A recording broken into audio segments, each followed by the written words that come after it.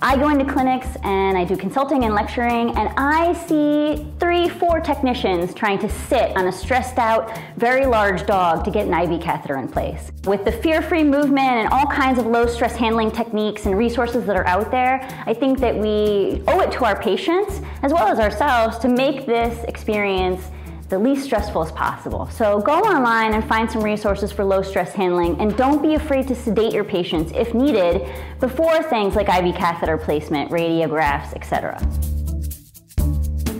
Not every patient needs atropine in their pre-med, and if you're still including atropine in your pre-med just because that's the way we've done it for 20 years, get with the times.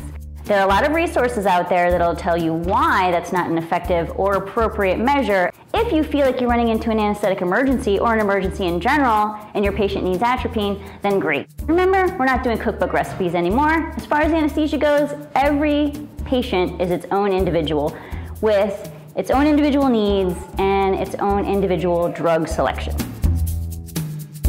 Not only is this such a fantastic sedative drug, but also you're providing pain control. Look on the label. Dexmedetomidine not only provides sedation, but it's also labeled as an analgesic and functions as an analgesic.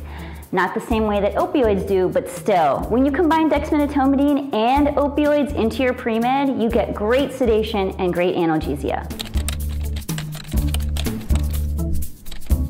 Meow.